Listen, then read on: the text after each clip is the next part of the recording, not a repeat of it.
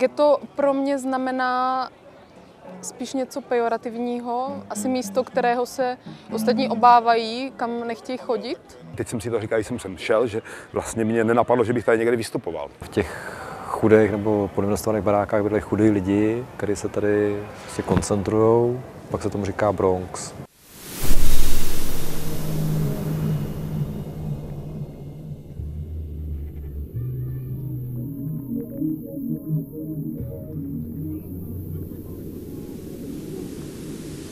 Ghetto Fest je festival, který vznikl ze strany lidí, kteří žijí tady v té sociálně vyloučené lokalitě, tady v tom vozovkách getu a vznikl ze snahy otevřít to geto celému městu Brnu, spojit nějak ty lidi, kteří tady žijou, ať už to jsou Romáci, nebo Češi, nebo kdokoliv jiný. A vznikla vlastně taková jakoby vlna nějaká pozitivní vlna ve smyslu, OK, můžeme spolu žít, můžeme si užít jeden den na festivalu, můžeme se bavit, nemusíme mít problém, nemusí u toho být hromada policajtů, nemusí u toho být neonacisté, jde to všechno bez toho a je to úplně v pohodě.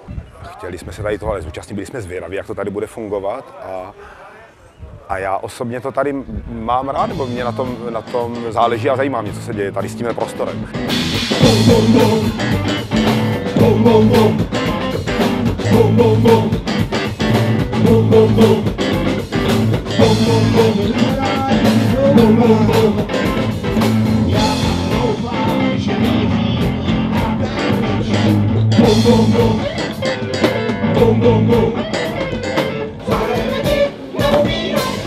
Mě baví život eh, na ulici, protože uh, město je lidí, město je naše, koho jiného by bylo.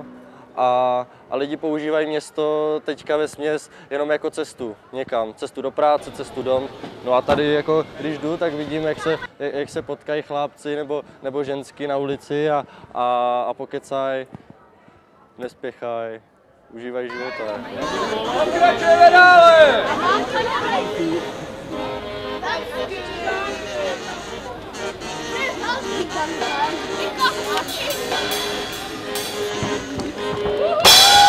Za mě se hodně projevuje i to, že se sem jako stěhují uh, lidi zvenčí, kteří prostě tu čtvrť nemají jako přechodné bydliště a třeba tady chtějí žít furt nebo aspoň dlouho.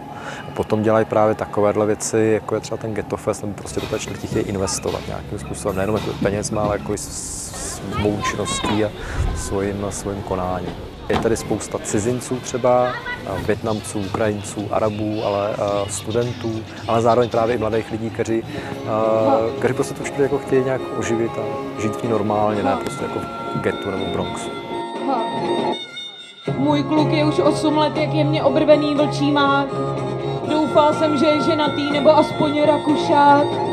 Už necítím to chvění a strach, když cvičí pilates v nedbalkách.